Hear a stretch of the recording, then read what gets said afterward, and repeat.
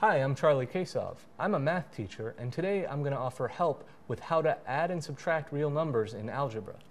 So first, let's come up with an algebraic equation. How about x plus 3 equals 4? So this, we have x plus 3 equals 4. You're probably going to want to solve for x, which means you're going to have to add or subtract a real number. So the first thing we would do would be to subtract positive 3 from each side. So when we say minus 3, we're saying minus positive 3. And in that case, plus 3 minus 3 cancels out, so we have just plain x equals 4 minus 3, which is 1.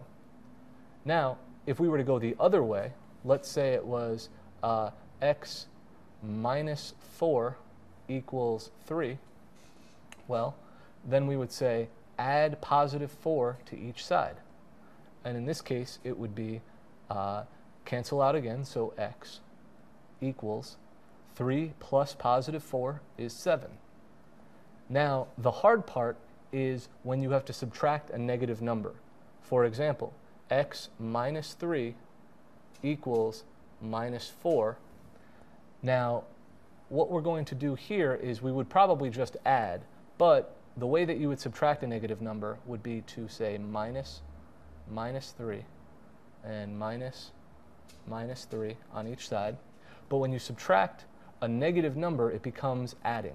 So this is really just saying plus 3 and plus 3. So x minus 3 plus 3 is actually just x, and minus 4 plus 3 is just negative 1.